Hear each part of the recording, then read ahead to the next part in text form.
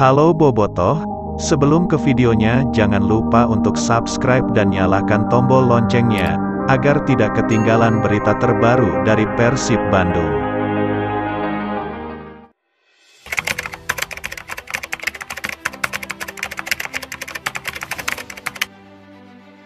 Di tengah isu pengosongan stadion saat Persib Bandung jamu Dewa United, manajemen gelar promo tiket. Panitia pelaksana laga kandang Persib Bandung menggelar promo penjualan tiket pertandingan melawan Dewa United.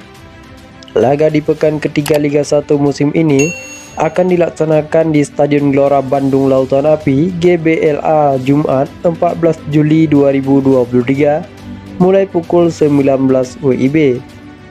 Pertarungan ini akan menjadi ajang Persib Bandung untuk meraih kemenangan pertama di musim ini.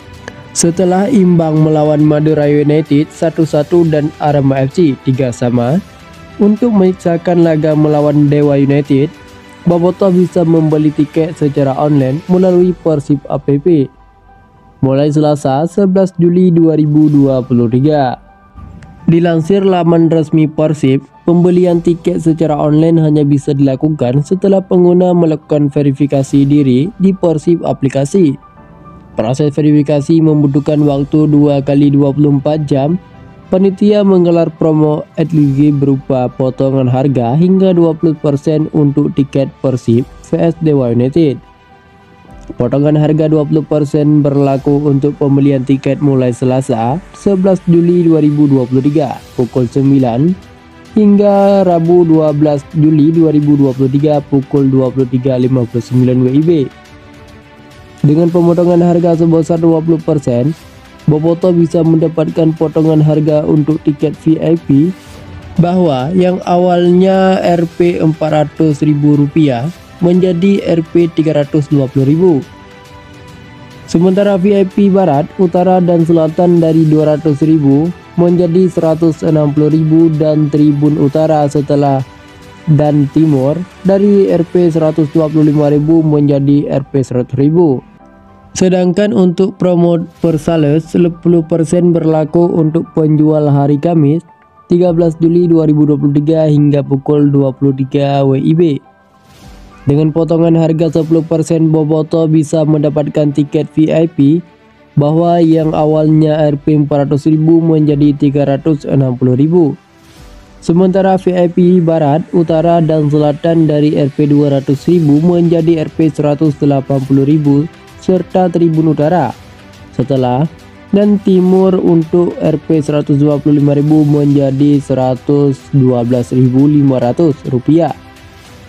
Tidak sampai situ, Persib juga menyediakan 10% jersey supporter editan bagi pembeli tiket dengan harga reguler pada hari pertandingan Jumat 14 Juli 2023 dengan catatan jika tiket masih tersedia. Viking serukan boykot. Viking Persib Klub VPIC berencana menggelarkan aksi boykot pertandingan Persib Bandung melawan Dewa United. Mereka protes kesulitannya memperoleh tiket pertandingan kandang semenjak dilakukannya migrasi sistem baru di aplikasi Persib aplikasi.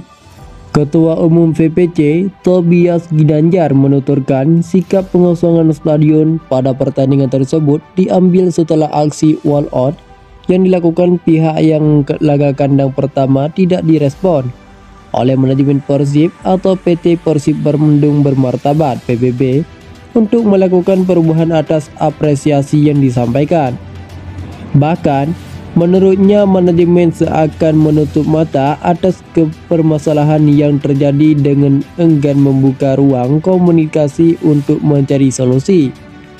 Ini adalah sikap lanjutan kami setelah di pertandingan pertama kami wall out, kami merasa PT PBB tidak ada perubahan. Seakan menutup mata atas permasalahan yang terjadi. Tentunya, ini juga karena adanya desakan dari distrik-distrik kita di bawah. Jadi kami harus mendengarkan apresiasi mereka, ujar Tobi Asadin 10 Juli 2023. Menurutnya, dari apresiasi yang disampaikan distrik-distrik VVC, seluruhnya mengeluarkan trik sistem perubahan tiket yang memberatkan. Serta melambungnya harga tiket tanpa diimbangi dengan perubahan yang menandai dengan sisi fasilitas di Stadion GBLA Kota Bandung. Salah satunya kondisi toilet yang perlu diperbaiki. Kami tidak menolak sistem online, karena dari musim kemarin sudah online. Hanya saja sistem pembeli sekarang itu rumit, karena harus lewat aplikasi yang harus diverifikasi. Setelah diverifikasi, kami juga harus membeli tiket secara individu, padahal untuk komunitas biasanya kolektif. Karena banyak rombongan yang berangkat dari luar kota, ucapnya. Tobias pun mengaku telah menyampaikan persoalan tersebut kepada manajemen Persib. Namun hingga kini belum ada titik temu. Dan manajemen masih menutup mata atas permasalahan itu. Oleh karena itu, pihaknya telah berkoordinasi dengan semua distrik dan telah bersepakat untuk menggelar aksi boykot pertandingan kandang kedua Persib Bandung nanti. Jadi, kami minta manajemen jangan terlalu memaksa kehendak. Sosialisasi yang kami perlukan dari manajemen. Kalaupun ingin tetap menerapkan hal ini, sistem baru harus jelas dengan kondisi dan yang ada. Proses verifikasinya yang tidak menyulitkan, jadi jangan terlalu memaksakanlah, ujar Tobias. Disinggung terkait sektor penjualan tiket menjadi hal kurang pengaruh terhadap neraca pendapatan klub dibandingkan sektor lain. Tobias menuturkan hal tersebut pun pernah didengar dari beberapa rilis manajemen yang diterbitkan media. Dari informasi tersebut disebutkan bahwa pendapatan utama klub itu seolah hanya sumber dari sponsorship, merchandise, dan hak.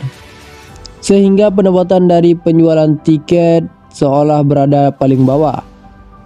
Bahkan, dirilis terakhir lanjut Tobias, pembelian tiket komunitas itu hanya 10%. Dari rilis itu, kami beranggapan bahwa manajemen melihat keberadaan komunitas itu hanya 10% dan merasa 90% lainnya masih ada penonton yang siap ke stadion. Jadi salah satu tujuan dari aksi kami ini juga ingin menguji apakah keberadaan kami hanya 10% atau tidak. Ketika kami menarik diri, apakah stadion tetap penuh atau tidak ucapnya. Tobias pun mengaku belum mengetahui hingga kapan aksi protes tersebut akan terus dilakukan pihaknya. Bahkan, dirinya menyadari bahwa aksi tersebut akan mengembangkan dukungan terhadap para pemain yang berjuang di lapangan. Akan tetapi, pihaknya ingin adanya titik temu dengan persoalan tersebut dengan adanya perubahan yang dilakukan oleh manajemen Persib. Sebenarnya, kami juga mau menganggap konsistensi pemain karena kami juga ingin memberikan dukungan secara langsung dengan memberikan supporter morir kepada pemain.